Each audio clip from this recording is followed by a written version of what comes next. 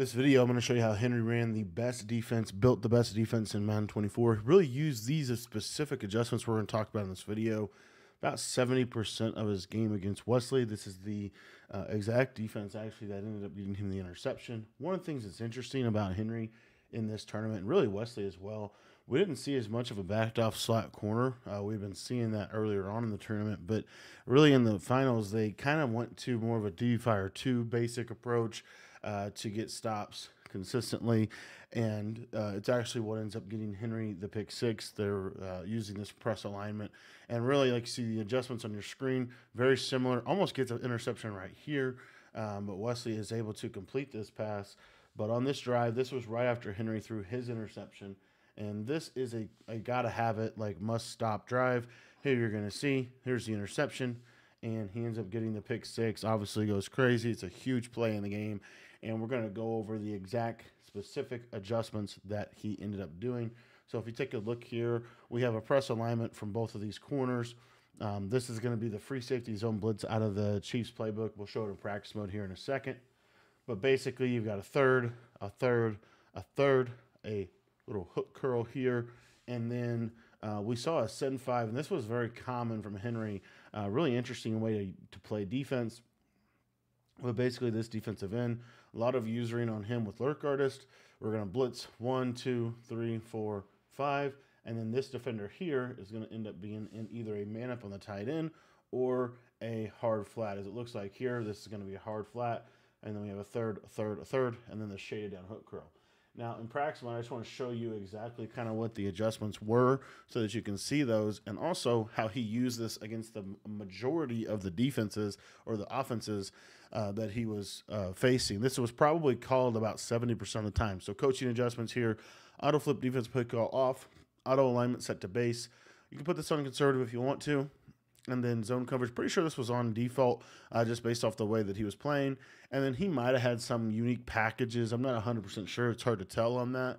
But let's get into this. This is out of the free safety uh, zone blitz in the dollar 32. We have a full ebook on this defense. I've been talking about this defense for the last several months. Uh, it's the best defense in the game, and it's the defense that gives you the most amount of options to constrain the most amount of space to defend the most amount of formations. So, really love this defense. Let's get into the setup. All right, so the setup here, all we're going to do is we're just going to press. We're going to pinch our defensive line. Now, in regs, this defense is not as effective because the, this defender does not have lurk artist. It doesn't mean Dollar is not still the best defense in regs, but basically the adjustments, we're going to put the safety on the left into a hook curl, and we're going to shade underneath. Now, I'm going to explain why this is really good for Bunch Strong Nasty in just a second, um, but we're first talking about this double post play. And then Wesley, I'm pretty sure, I'm not 100% sure what he ended up going with.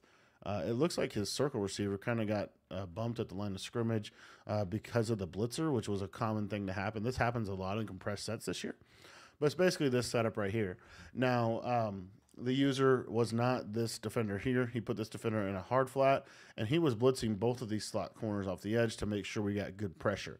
So his user was actually this defender, this defensive end. And the reason being is because you can use this defensive end, engage with the defensive line or offensive line, and then uh, lurk back into coverage. Now, the lurk and what he was doing with his lurk is he was basically going to be almost as if he was a vertical hook defender. All right. And then typically probably got a shade outside and underneath, which will help play the C routes a little bit better.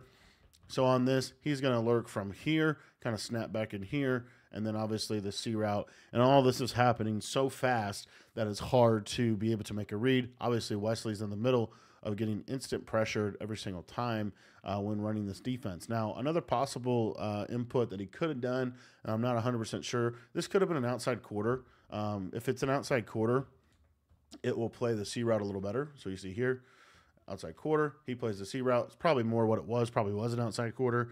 And uh, we probably, honestly, just knowing kind of the way the, the game plays this year, we probably outside quarter both of these guys. And the purpose for that is to take away the wheel route late to the tight end, as well as, um, you know, just help, it just helps them play the sidelines a little bit better.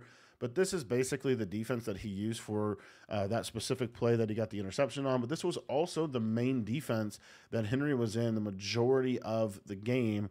Probably, like I said, about 70% of his snaps. And I wanted to show you why. So, Wesley's main uh, couple plays that he wanted to go to was really this bunch strong nasty in the Colts playbook. We have a full ebook on this. Uh, but it was basically this play right here. This was the play that he wanted to run a lot. There's a couple others, and we'll talk about that. But this was one of the main plays. This is the double corner concept. And so, again, this exact setup, again, it's, it's basically this right here. So, what would the user do on this? Well, the beauty of this is a shaded down hook curl will really take away that snap throw to the square receiver. So, and then you have the middle third, and then probably, like I said, quarter zones on these outside guys just to get them to play more to the sideline. Um, but anyways, so he would get user here, and then basically, if the tight end went to the corner, he could just take that with his user, and there's really nowhere else to throw the football. And you're obviously able to still send five, which is what makes this defense really good. Now, this does not also, or does not just stop the um, that the double corner play, but it stops a lot of what people like to do out of Colts. For example, another play that was very popular for Wesley was this dagger play.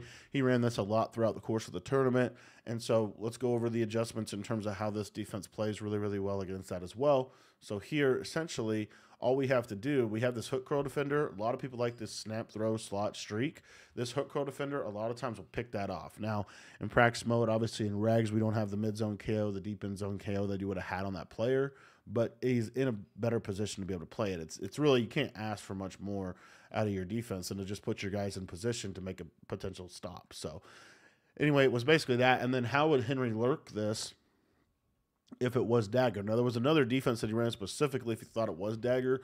But basically what we would do here is we're going to try to just take the crosser because that in route's running himself into coverage with that hook curl, and obviously the this is all happening so fast, so it's hard uh, for for it to you know basically it's really really difficult for uh, Wesley to be able to just consistently make a read against this against this defense. Now every now and then we got a defense that kind of looks something like. Uh, basically, something like this here, and it could have been like a little more of a maximum coverage defensive situation, but basically a kind of a cross man style defense where we're essentially uh, putting a lot of stress on that slot receiver with our user. But other than that, we have these cross bands. The beauty of these cross bands is you can still have that hook curl in the middle of the field. So if, again, if this was dagger and he actually ran this to stop dagger, all he has to do is go take the crosser. So these are some really effective setups defensively from Henry. Wanted to break this down. Uh, this was the main defense that he used to shut down both bunch offset out of Colts and bunch strong offset out of Colts. So thanks for watching the video. And if you want to check out my entire dollar uh, $1.32 defensive ebook, it is in the Patreon. Uh, you can get that for just 10 bucks. Link is going to be down in the description.